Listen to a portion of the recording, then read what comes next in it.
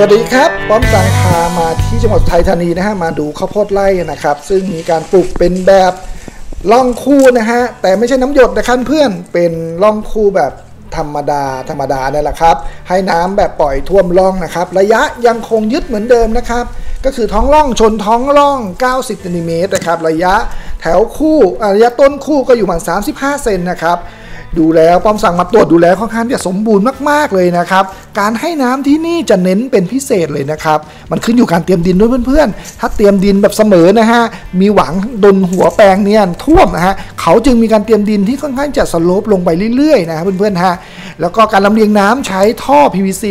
อ่านิ้วครึ่ง2 นิ้วนี่นะครับลำเลียงน้ำเข้าไปนะฮะ ป้อมสั่งดูลากนะครับ ลากค่อนข้างที่จะแข็งแรงสมบูรณ์มากๆเลยนะครับทุกท่านฮะมีการแตกข้อที่ 2 ข้อที่ 3 เรื่อยๆนะฮะที่สำคัญการทำร่องแบบนี้นะฮะไม่มีการ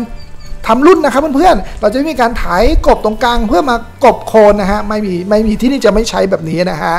เพราะนั้นเรื่องของหนอนเรื่องของแมลงก็ยังมีนิดหน่อยฮะเพี้ยไฟเจอนิดหน่อยนะครับหนอนเจอบ้างครับ แต่เขาก็เอาอยู่นะฮะมีการคุมยาตั้งแต่ต้นตั้งแต่5ใบเป็นต้นไปเลยฮะตอนนี้ก็เจอ